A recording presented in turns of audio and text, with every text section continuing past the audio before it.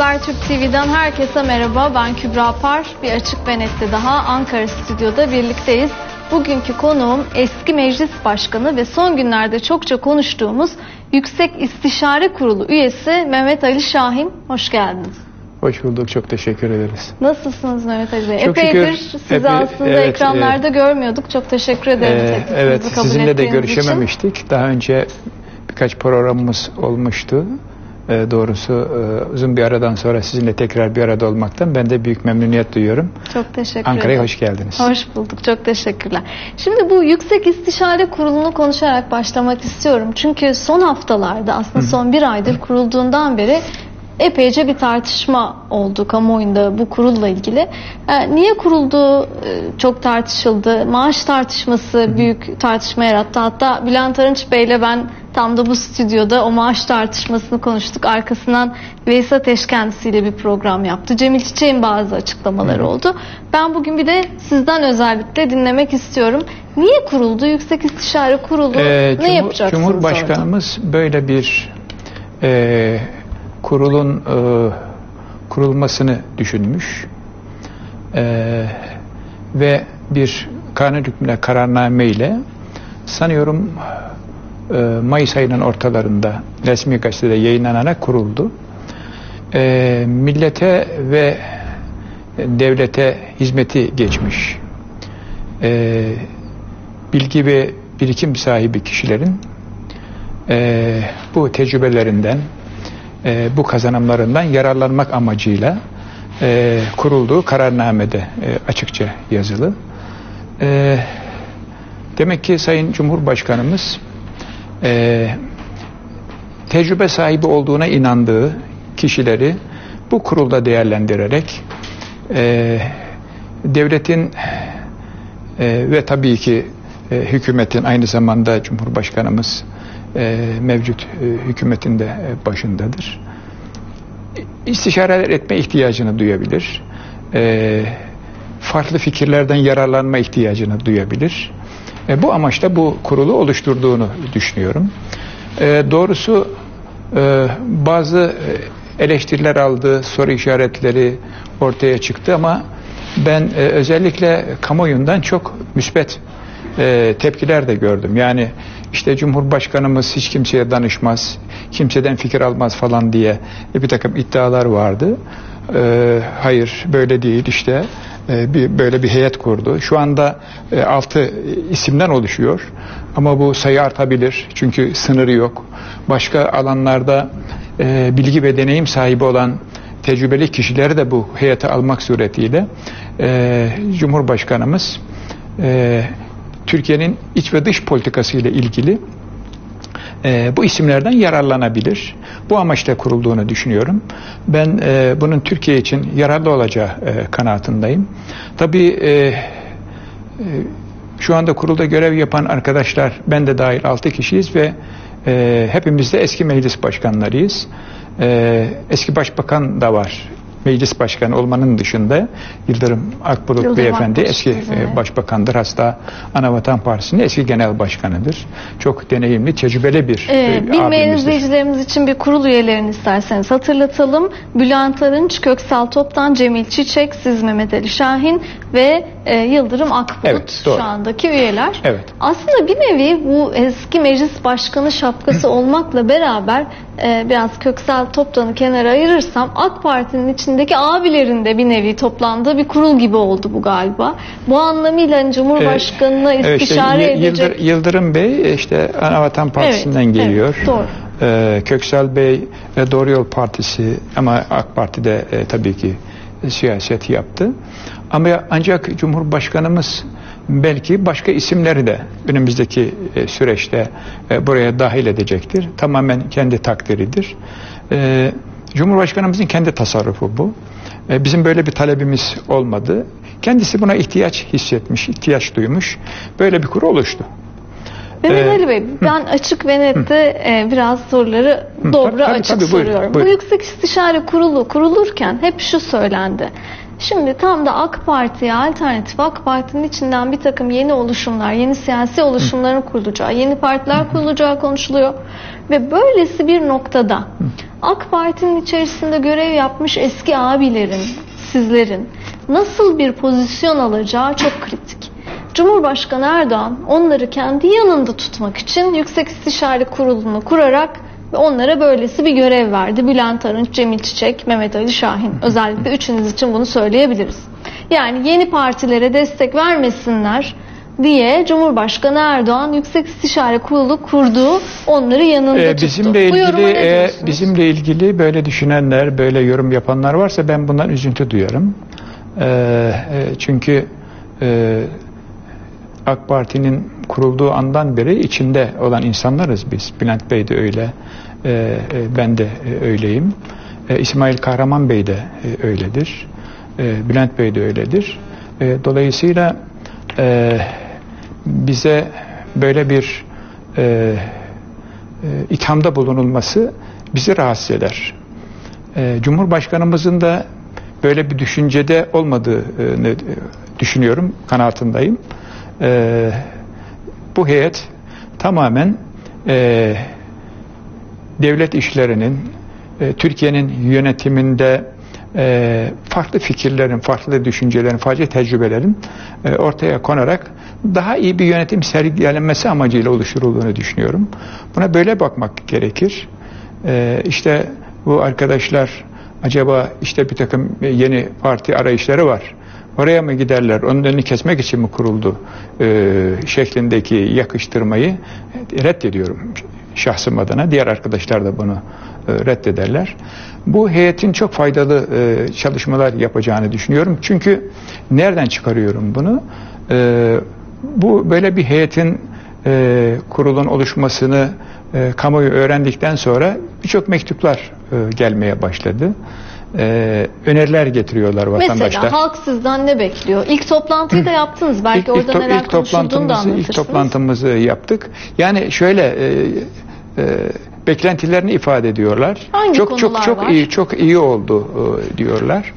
E, işte e, Türkiye'nin içinden geçtiği şu süreçte dışta ve içte e, Türkiye'yi e, sıkıntıya sokabilecek gelişmelerle ilgili e, şu konuların bu heyette görüşülerek e, şöyle bir tavır alınması daha uygun olur anlamına gelen bir takım mektuplar da alıyoruz. Ancak bunun dışında e, şahsi bir takım e, işlerini de e, acaba buraya taşıyarak çözebilir miyiz diye mesela bugün Samsun'dan bir avukat arkadaş e, göndermiş.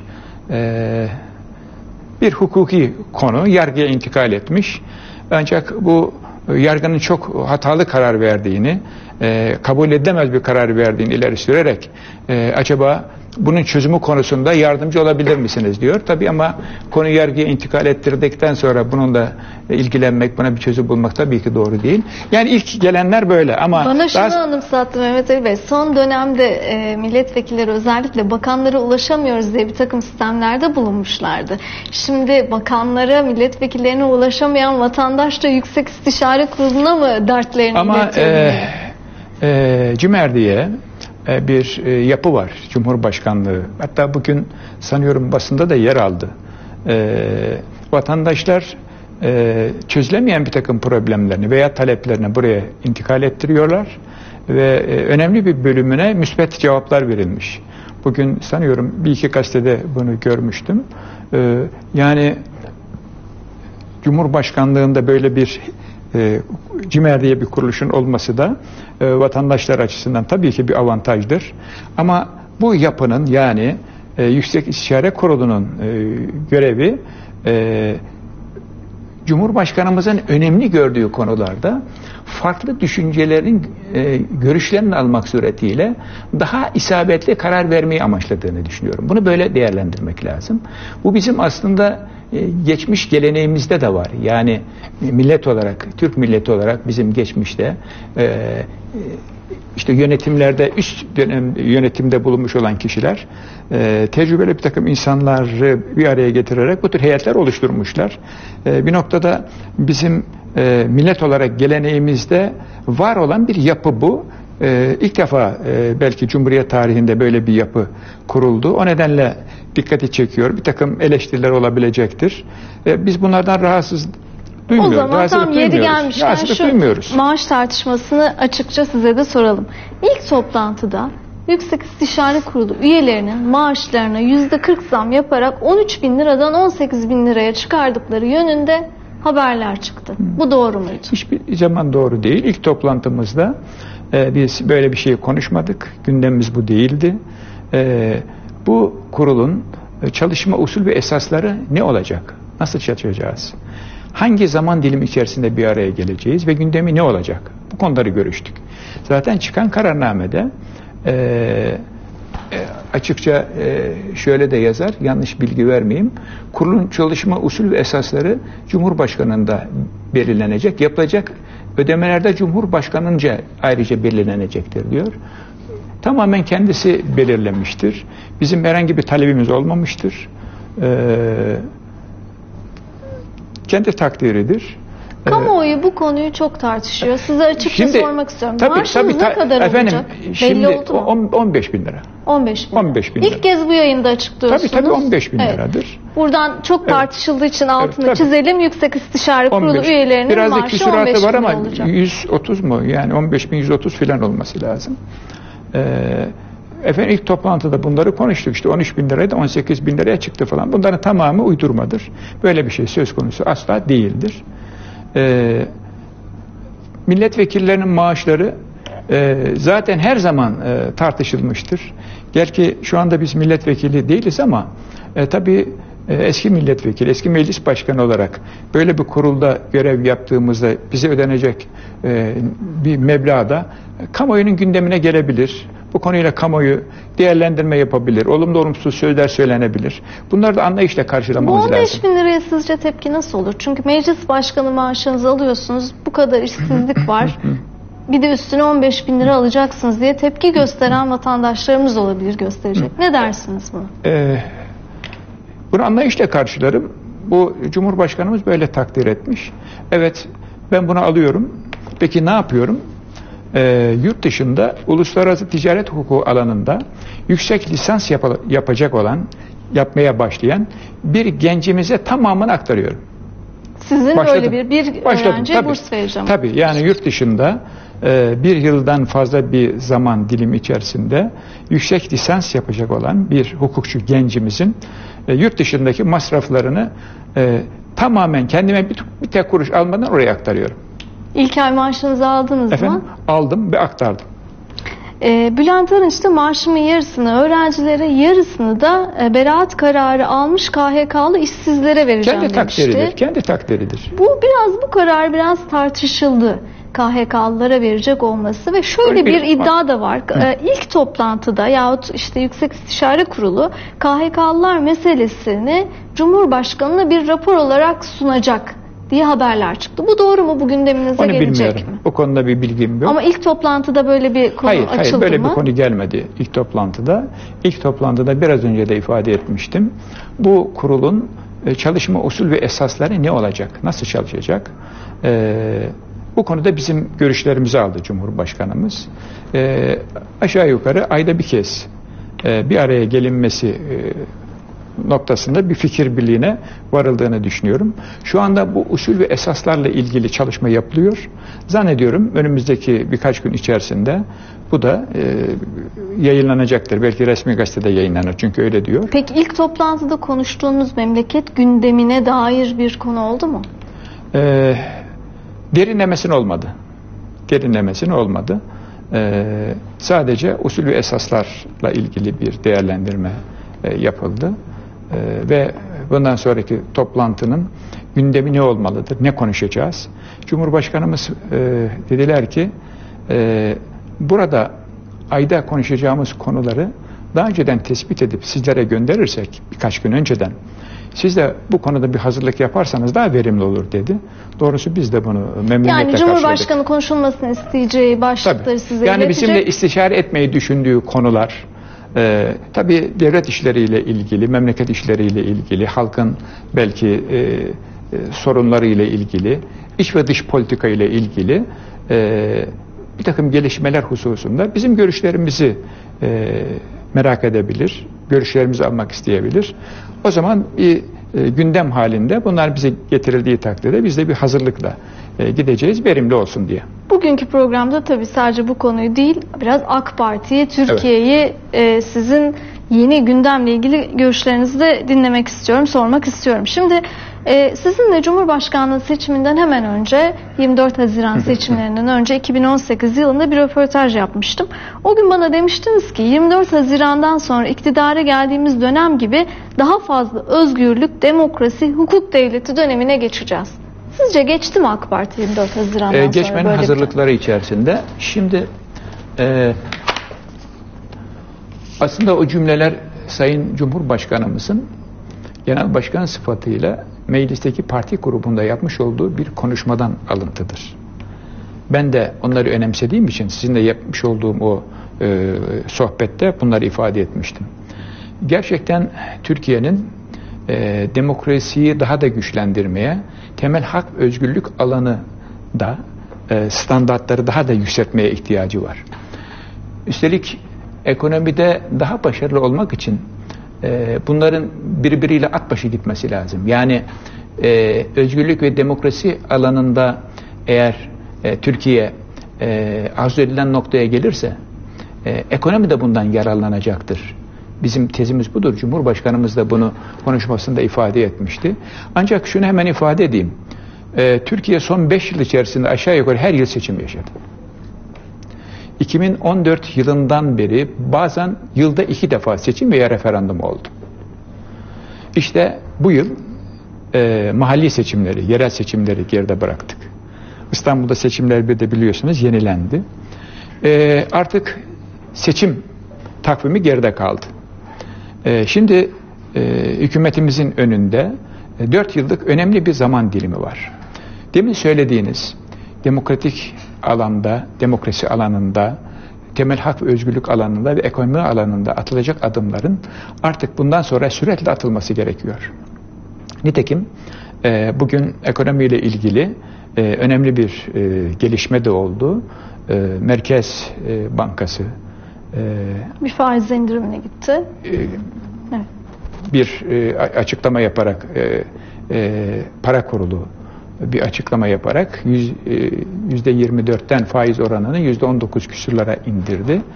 E, bu tabii e, enflasyonun yükselmesi, faizlerin yükselmesi e, ekonomiyi de olumsuz etkiliyor. Yatırımları e, e, olumsuz etkiliyor. Dolayısıyla e, hükümetimizin hedeflerinden biri e, tabii e, tek e, haneli rakamlara indirmektir enflasyonu da işsizliği de. E, bugün e, atılan bu adımın e, bunun e, öncüsü olmasını diliyorum. Arkası mutlaka gelecektir. Nitekim Adalet Bakanlığı'nca hazırlanan hukuk reformu görüşüldü. Ciddi bir hazırlık yapıldı. Seçim daha doğrusu parlamento tatile girmeden önce meclisten bir bölümünün çıkması bekleniyordu. Ama e, biraz gecikme oldu. Sanıyorum Ekim ayında e, bu demin söylediğiniz e, özellikle yargı alanında önemli e, iyileştirmeler yapılacağını, önemli adımlar atılacağını düşünüyorum. Bunlar yapılacaklar ama bir yandan da işte tam da sizin de sayladığınız bu özgürlükler, ekonomi, demokrasi, yargı konularında AK Parti'nin kuruluş dönemi ilkelerinden uzaklaştığı, son dönemdeki yönetimin bu anlamda kötü bir karne çıkardığı yönünde çok eleştiri var. AK Parti'den ayrılan isimler, bazen AK Parti'nin içinden böyle yorumlar duyuyoruz. Buna katılır mısınız? Örneğin Bülent Arınç e, bizim yaptığımız programdan sonra Veys Ateş'e çıktı geçen hafta ve AK Parti'yi değerlendirirken dedi ki rüzgarımızı, heyecanımızı kaybettik. Sürekli reform yapan devrim içinde bir partiydik dedi ve AK Parti'nin kuruluş yıllarından biraz uzaklaştığını ima etti.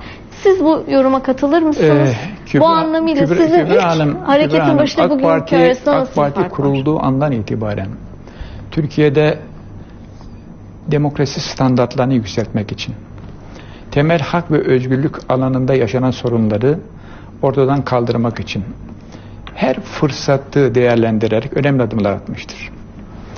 2013 yılında gerçekleştirdiğimiz büyük kongrede 2013'ten bahsediyorum. Genel Başkanımız, o zaman Başbakanımız e, 63 maddelik bir demokrasi paketini kamuoyuyla paylaştı. 63 maddelik. Ee, daha sonra ne oldu? Bunların bir kısmı hayata geçti. Bir kısmı geçemedi. Niye geçemedi? Çünkü Türkiye öylesine e, siyaset kurumuna yönelik e, hainane bir takım teşebbüslerle karşı karşıya kaldık. E, işte 17-25 Aralık yargı darbe girişimi. Ondan önce 7 Şubat 2012'de MİT kriziyle başlayan o süreçler doğrudan doğruya hükümete, hükümetin başı Recep Tayyip Erdoğan'a yönelik girişimlerdi. Onu ortadan kaldırmaya dönük, e, onu siyaset dışına itmeye itmeyi amaçlayan girişimlerdi. Ve en sonunda işte 15 Temmuz 2016'da bir darbe girişimi oldu. Ee, bu darbe girişiminin de amacı Recep Tayyip Erdoğan'ı ortadan kaldırmak ve Türkiye yönetiminden uzaklaştırmaktı. Bunlar Türkiye'nin yaşadığı son yıllarda çok önemli süreçlerdir. Tabii ki e, bu süreçlerle e, mücadele edebilmek için bazı olağanüstü tedbirler almak zorundasınız. Bir darbe girişimi olmuş, 250'den fazla işçiden hayatını kaybetmiş, 2000'den fazla insan e, gazi olmuş, işte yaralanmış. E, bunlarla mücadele edebilmek için bu tür terör örgütleriyle, FETÖ terör örgütle mücadele edebilmek için e, işte olağanüstü e, bir dönemi yaşamak durumundaydınız. Anayasadan kaynaklanan, anayasanın aldığı yetkiyle hükümetimiz e, olağan, olağanüstü bir e, yönetim e, modeline geçmek durumunda kaldı. Tabii e, 2013 yılında demokrasi paketinde e, ortaya koymayı vaat ettiğimiz şeylerin bir kısmını ertelemek durumunda kaldık. Dolayısıyla Türkiye gerçekten çok büyük badireler atlattı.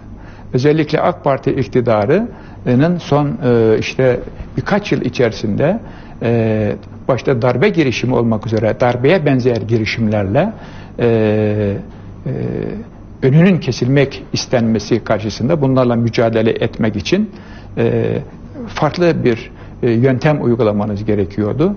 Artık e, bu FETÖ terör örgütüyle mücadele yargıya intikal ettiği kararlar verildi.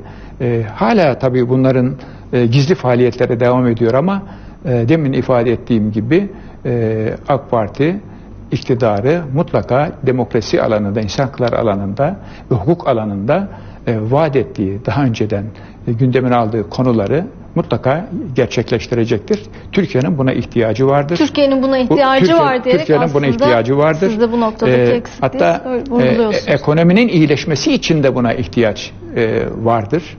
E, e çünkü yerli ve yabancı sermaye bir ülkeye yatırım yapabilmek için Türkiye'deki hukuk düzeninin, yargı düzeninin gerçekten e, ideal anlamda olmasını arzu eder, bekler.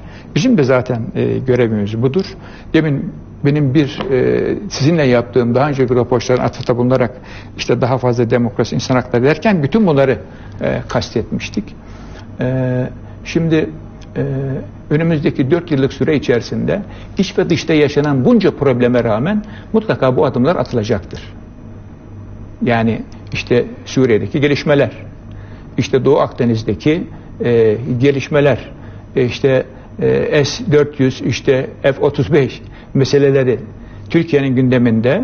E, bunlar tabii e, hükümetimizin e, önemli bir e, zamanını alıyor. Ama bunun yanı sıra bizim mutlaka e, ekonomi bir taraftan düzeltirken e, temel hak ve özgürlük alanında da e, atılması gereken adımları önümüzdeki süreçte süratle atmamız gerekiyor. İstanbul seçimi e, ikinci yenilendiğinde 9 puan farkla CHP'nin adayı Millet İttifakı'nın evet. adayı kazandı. Ekrem İmamoğlu kazandı. 9 puanlık fark AK Parti tarihi açısından sizce bir kırılma noktasına işaret ediyor mu? Siz nasıl karşıladınız? Şimdi bu yenilenen seçimlerin havası farklı olur. Evet. Mesela Artvin'in Yusufeli'de de seçimler yenilendi. Biz bir, ay, bir oy farkla kazanmıştık. Sonra 400 oy farkla kazandık. Yani seçimin yenilenmesi Evet, yenilenmesinde hata mıydı? seçilen- seçimlerin yenilenmesinde vatandaş biraz farklı e, tercihler ortaya koyabiliyor. Bazen bu işte seçimlerin yenilenmesini e, do- doğru bulmuyor. E, Sandığa e, bu e, e, tepkisini farklı şekilde yansıtabiliyor. 13 bin küsur öyle biliyorsun ilk seçim bitmişti. İkinci seçimde e, fark açıldı. Bunun nedenler üzerinde tabii ki partimizin yetkili e, kurulları çalıştılar, çalışıyorlar. Peki Mehmet Ali Şahin bütün tecrübesiyle bu nedenleri nasıl açıklıyor? Ee, seçimlerin iptali e, İstanbul'da yaşayan seçmenlerimizin en azından bir bölümü tarafından e, pek e, sevimli karşılanmadı. E, bu, bu santrala bir şekilde e, yansıdı.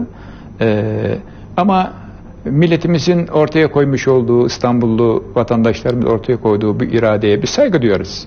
Saygı durmak durumundayız. E, şimdi işte seçimler yapıldı. E, belediye başkan arkadaşlar görevlerine başladılar. E, şimdi yapılması gereken nedir? Bu arkadaşların e, neler yapacağını gözlemlemektir. Başarılı olmasını da tabii ki arzu ederiz. 5 yıl e, Ankara'yı 5 yıl e, affedersiniz 25 yıl Ankara'yı 25 yıl e, İstanbul'u e, aynı e, e, siyasi görüşten gelen belediye başkanları yönettiler. E, önemli hizmetler yapıldı. Bu yeni arkadaşlarımız bunun üzerine ne koyacaklar? Şimdi Mansur bek- Yavaş bek- ve Ekrem Evet tabii ne yapacaklar?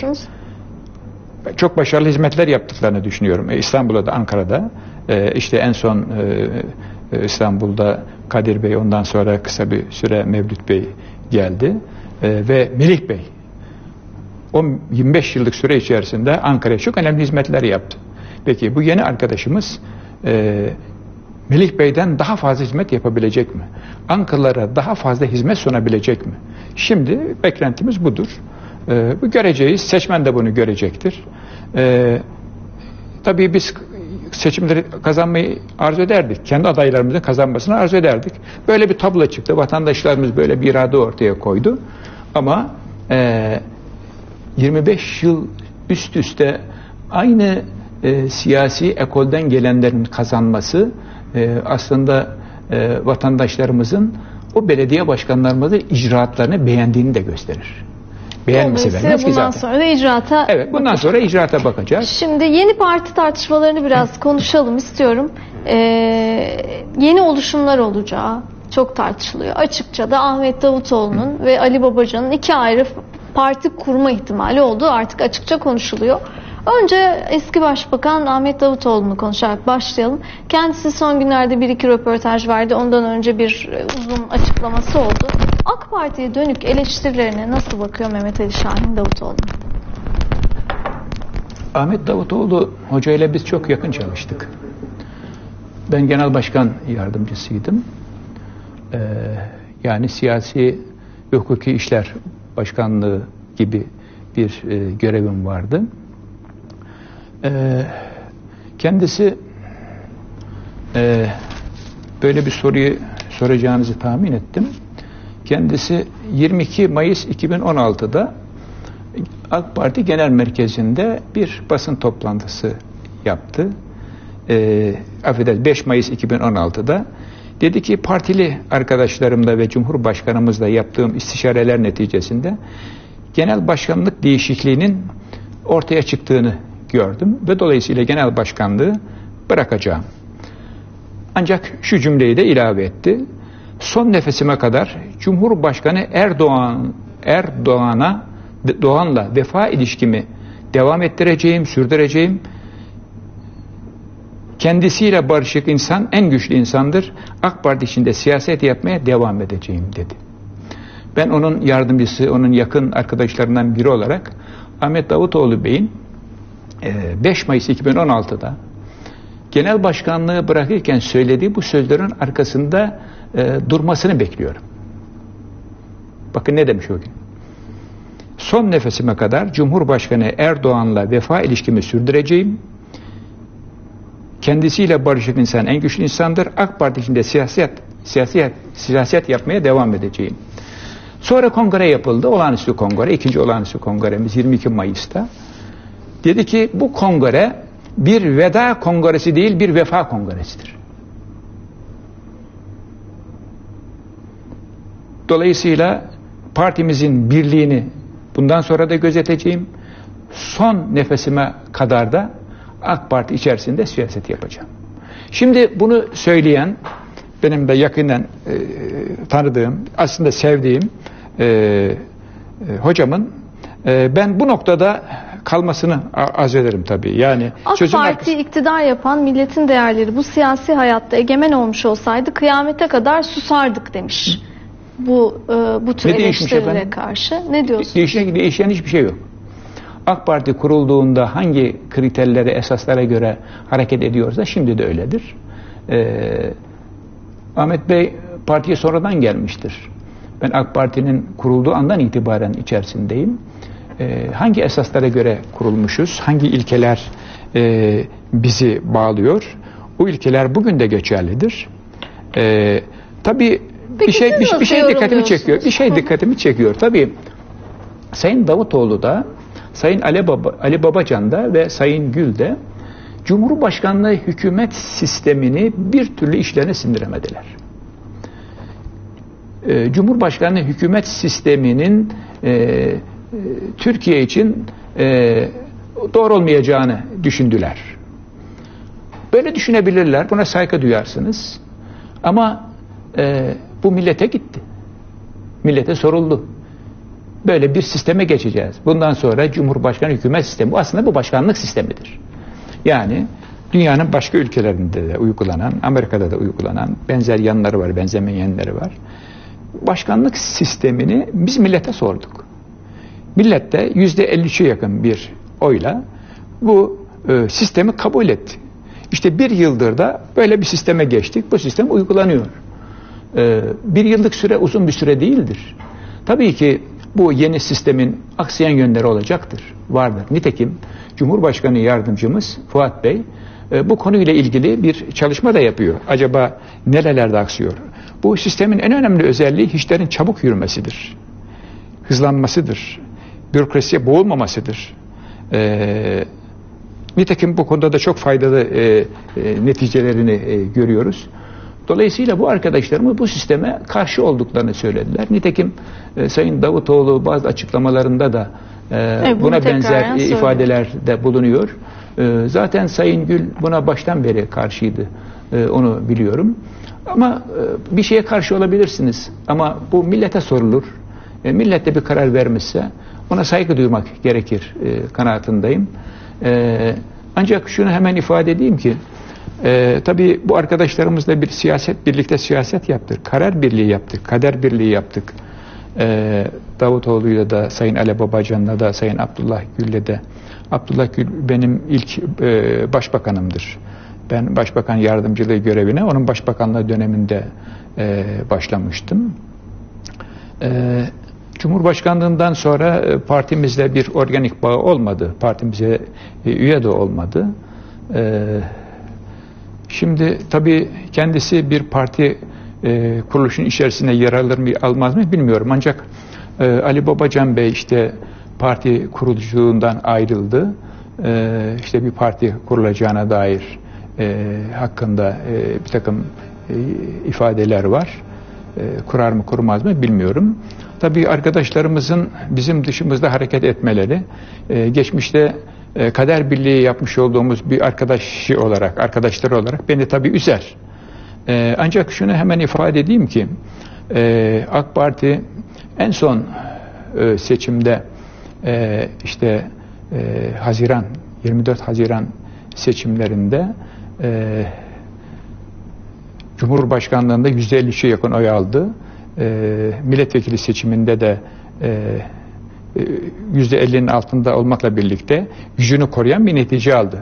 Yerel seçimlerde de e, Cumhur İttifakı olarak %53'e yakın oy aldı. Dolayısıyla AK Parti gücünü koruyor. Yani yeni kurulacak bu Evet, partinin dolayısıyla- ister dolayısıyla- Davutoğlu ister dolayısıyla bu- Babacan bu- bu- bu- AK bu- Parti'den oy götürür mü? Ben Bu- daha bu, açıkça bu söyleyeyim. partilere ben böyle yani yeni partilere ihtiyaç olmadığını e, düşünüyorum. E, kurar, kurabilirler mi? Kurabilirler. Peki e, ne yaparlar?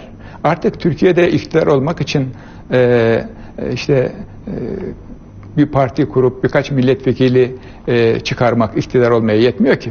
Yüzde 56 bir oy almanız gerekiyor. Çünkü e, Cumhurbaşkanı hükümet sistemi yani başkanlık sistemi böyle bir sonuç doğuruyor. E, bu arkadaşlarımızın e, bu yeni sisteme göre e, bir e, iktidar elde etmeleri mümkün değil. E, kurarlarsa ve seçimlere girerlerse ne olur? E, belki AK Parti'den e, bazı e, bir miktar oy kayması olabilir. Bu kimin işine yarar? Bu muhalefetin işine yarar. Bu daha çok ana muhalefet partisi Cumhuriyet Halk Partisi'nin işine yarar. E, dolayısıyla e, işte zamanında yapılacaktır. 20, 2023'te e, seçimler yenilendiğinde diyelim ki bir parti kurdular oraya gittik. Oraya vardık. E, onlar da seçimlere girdi. E, ne olur? E, belki AK Parti'nin oylarında bir miktar azalma olur. E, bu Cumhuriyet Halk Partisi'ne yarar. Ancak bizim tabanımız öyle şuurludur ki, öyle basiretli oy kullanır ki e, böyle bir tablo karşısında e, AK Parti tabanı kendi partisine, asil partisine oy verir. Dolayısıyla bu arkadaşlarımızın bir netice almaları pek mümkün görünmüyor. Yani şunu diyor Mehmet Ali Şahin, %50 artı bir sisteminde görüldü ki küçük partilerin de aslında çok kilit rolü var. Muhalefete yarar eğer bu yeni partiler AK Parti'den oy koparırsa. Fakat AK Parti seçmenine güveniyoruz. Onlar bu durumda AK Parti'ye oy verirler, yeni partilere teveccüh etmezler diyorsunuz. Evet, Ama peki. İstanbul seçim sonucu size bunun aksini düşündürtmüyor mu? Ee, İstanbul seçim sonucu yani ilk seçim o 31 Mart'ta yapılan seçim e, sonucu e, yüzde 49 değil mi? Yüzde 49 civarında herhalde çok yakındı. Oy almıştık. İkinci seçim e, de e, farkın açılması e, demin kısaca ifade etmiştim. Bunun bazı nedenleri var. Bu iptale bazı vatandaşlarımızın hatta AK Parti tabanından bile bazı seçmenlerimizin e, tepki göstermiş olması böyle bir sonucun e, alınmasına yol açtı. E, ben bunun ölçü olmadığı e, kanaatindeyim. E, demin e, söylemiştim, e, tekrar hatırlatayım. Mesela Artvin Yusufeli'de yüzde bir oyla kazanmıştık. Yenilenen seçimde 400'e çıktı fark. Yani AK Parti'nin bütün Keskin'de de- politikalarına değil de de seçimin böyle- iptaline tepki Dolayısıyla, dolayısıyla yenilenen seçimlerde e, e, vatandaşlar biraz daha farklı şekilde tepkilerini sandığa yansıtabiliyorlar. İkinci seçimde İstanbul'da da böyle e, olmuştur. E, İstanbul'da e, AK Parti yine en güçlü siyasi partidir. E, yapılacak olan yani önümüzdeki seçimlerde yine bu gücünü ortaya koyacaktır kanaatindeyim. Kapılar kapandığında AK Parti Genel Merkez'de veya eski AK Partililer bir araya geldiğinizde ne konuşuyorsunuz? Bu önümüzdeki süreçte yeni siyasi oluşumların da olacağını hesaba kattığınızda AK Parti nasıl bir yol izleyecek Benim- ya da siz kendi aranızda ne konuşuyorsunuz? Benim şu anda partimizin yetkili organlarında yani Merkez Karar Yönetim Kurulu'nda ve Merkez Yürütme Kurulu'nda bir görevim yok. Ee, dolayısıyla bu konular oralarda gündem yapılıyor mu, konuşuyor mu ondan bir bilgi ben daha sahibi çok değilim. Mehmet Ali Şahin'in görüşünü soruyorum. Yani AK Parti bundan sonra ne yapar, ne yapmalı? AK, AK Parti bundan Bir sonra ne yapacak? mı? Önümüzde önümüzde e, 4 yıllık bir süreyi en iyi şekilde değerlendirme sorumluluğumuz var. E, başta Cumhurbaşkanımız olmak üzere hükümette görev almış olan tüm bakan arkadaşlarımız ve tabii ki AK Parti camiası bunun şuurundadır. Ve dolayısıyla önümüzdeki bu seçimci seçim olmayan olmayacak süreci inşallah en iyi şekilde değerlendireceğiz. Ee, vatandaşlarımızın, halkımızın beklentilerine cevap verecek gerek ekonomik, gerek sosyal, gerekse hukuki alandaki adımlarımızı inşallah atacağız. Ee, AK Parti'nin e, 2023'e doğru giderken e, ilk çıktığında vatandaşın ilgisine benzer bir ilginin tekrar AK Parti'de e, tezahür edeceğini, e, yoğunlaşacağını düşünüyorum. Şimdi hep şu konuşuluyor son günlerde AK Parti döneminde yeni bir kuşak oluştu. 2023'te oy kullanacak farklı bir kuşak geliyor ve kuşaklar gençleştikçe AK Parti onlar için yaşlı bir parti gibi kalma riskiyle karşı karşıya. Bu analize katılır mısınız? Yeni kuşağa hitap edebiliyor mu bugünkü AK Parti? Ee, şimdi şu bakımdan katılabilirim. e, özellikle yerel seçimleri değerlendirirken e, İstanbul'da ve Ankara'da özellikle e, 25 yıl üst üste aynı siyasi partinin belediyede iktidar olduğunu söylemiştik. E, demek ki 25 yıl önce e, e, dünyaya gelmiş olan bir genç e, şimdi 25 yaşındadır. Hatta e, 10 yaşında olan da 35 yaşındadır. Dolayısıyla AK Parti belediyesinden önceki dönemleri bu gençler bilmiyorlar. Mukayese imkanları yok. Mesela e, Cumhurbaşkanımız Tayyip Erdoğan İstanbul Belediye Başkanı seçildiğinde görevi Cumhuriyet Halk Partili belediye başkanından devralmıştı. Şimdi biz bu seçimler esnasında CHP döneminde İstanbul'un yaşadıklarından çok da bahsettik. Ama şimdi 25 yaşında, 35 yaşında, hatta 40 yaşında olan insanlar bunu bilmiyorlar. Mukayese yapma imkanları yok. Ee, dolayısıyla e, bir yenilik, e, işte başka bir e, işte şeyde belediye başkanı da gelse onu da görsek falan diye seçmenlerin bir değerlendirme yapmasını da anlayışla karşılamak lazım. Ancak e, bu arkadaşlarımızın icraatlarını da göreceğiz. Demin söyledim. Yani gerek seçmenin gençleşmesi gayet, bizim gayet, için bir risk. Yenilik isteyebilirler ama biraz da icraata tabii, bağlı. Tabii onların da beğenisini kazanacak. Ee, özellikle merkezi hükümette e, o, onların da e, arzularına, beklentilerine cevap verecek icraatlar sergilemeliyiz. Özellikle o gençlerimizi kazanacak hem parti olarak hem de hükümet olarak, iktidar olarak e, iyi işler yaptığımız takdirde ben o gençlerimizin de e, desteğini ve teveccühünü alacağımızı düşünüyorum. Burada bir virgül atıp bir araya gidelim. Tabii. Kısa e, aradan sonra birkaç son soruyla devam edeceğiz. Kısa bir ara bir yere ayrılmayın.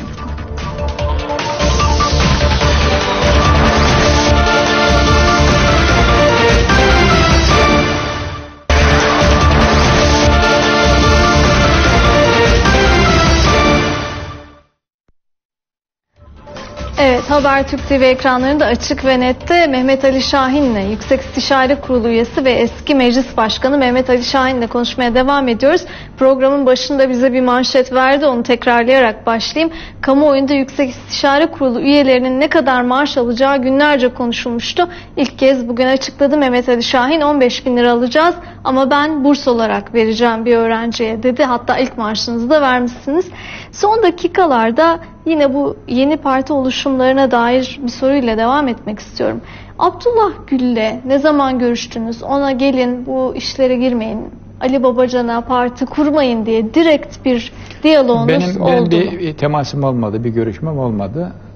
Ee, Böyle aracılar girdi mi araya peki? Onu bilmiyorum. Yani benim şahsen olmadı. Doğrusu e, olmasını da arzu ederim. Yani görüşmeyi de arzu ederim. Ama böyle bir teşebbüste bulunmadım. Ee, Görseniz ne dersiniz Abdullah Gül'e peki? E, biz birlikte yola çıktık.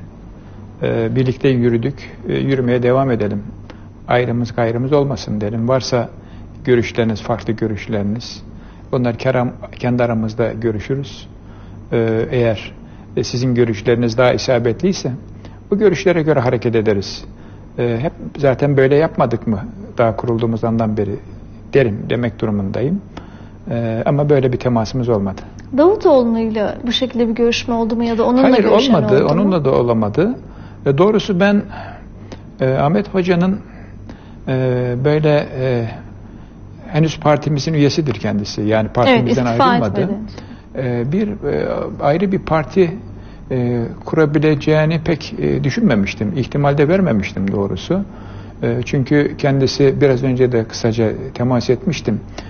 Gerek e, genel merkezimizde yaptığı ilk basın toplantısına gerekse e, olağanüstü kongrede yaptığı konuşmada e, ben bu partinin bir neferiyim.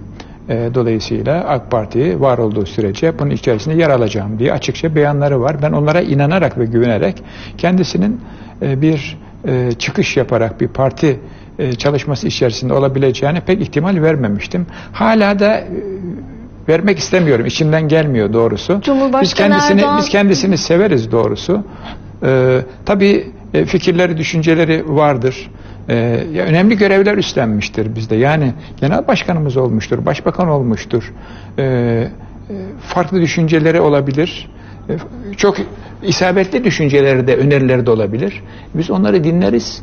E, onları da e, hayata geçirmeye, istifade etmeye çalışırız. Cumhurbaşkanı Erdoğan onlara kırgın olmayacağım da kime kırgın olacağım demişti. Siz de kırgın mısınız? E, tabii e, partimizden e, kopma e, çalışmalarını görünce tabii ki üzülüyorum. Üzülüyorum. En son e, ne zamandı? E, mecliste e, bir e, toplantı vesilesiyle e, bir araya gelmiştik. E, orada ayaküstü sadece bir merhabalaştık, hatır sorduk. Yani bir hafta kadar önce falandı. E, böyle oturup konuşma imkanımız olmadı. Olsa konuşuruz bunları, değerlendiririz. E, ben e, kendisinin e, partimiz içerisinde kalmaya devam etmesini arzu ederim doğrusu. E, ve e, ben bir parti falan kursa bile e, bunun netice vermeyeceği kanaatindeyim. E, kendisi de çok akıllı, çok zeki e, bir insandır. Bunu görebilecek durumdadır diye değerlendiriyorum. Son dakikadayız. Şunu da sorarak kapatmak isterim. MHP ile ittifak çok konuşuluyor parti içinde. Hatta AK Parti'nin biraz milliyetçi bir söyleme kaydığı yönünde eleştiriler de geliyor bazen parti içinden. Siz MHP ile ittifaka nasıl bakıyorsunuz? Bundan Şimdi, sonraki süreçte e, sürmeli. Kübra Hanım, yeni sistem yani Cumhurbaşkanlığı hükümet sistemi bir noktada siyasi partilerin ittifaklarını zorladı. Yani e, partiler arasında bu tür ittifakların e, olmasını e, bir noktada zorunlu hale getirdi de diyebiliriz. Özellikle 15 Temmuz darbe girişiminden sonra Türkiye'nin ciddi tehdit ve risklerle karşı karşıya kalması durumunda e, MHP ile AK Parti Türkiye'nin âli menfaatleri için bir araya geldi. Bir ittifak oluşturdu Adana Cumhur İttifakı dediğimiz. Bu ittifak gerek 24 Haziran seçimlerinde, Cumhurbaşkanlığı ve milletvekili seçimlerinde, gerekse 31 Mart'ta yapılan yerel seçimlerde başarılı oldu. %50'nin üstünde oy aldılar. %52-53'e yakın oy aldılar. Dolayısıyla bu ittifak başarılı bir ittifaktır. E, her iki partinin genel başkanları da e, bu ittifakı devam ettireceklerini söylüyorlar e, söylenecek bir şey yok bunun dışında. Sizce devam etmeli. Peki. Evet. Çok teşekkür ederiz Mehmet Ali Şahin. Ee, ben de teşekkür ederim. Süremizin Eksik sonuna olmayın. geldik. Bugün bize hem Yüksek İstişare Kurulu ile ilgili hem de yeni parti oluşumları ile ilgili önemli manşetler verdiniz. Çok teşekkürler. Açık ve Net'in e, bugün içinde sonuna geldik. Bir başka Açık ve Net'te görüşmek üzere. Hoşçakalın.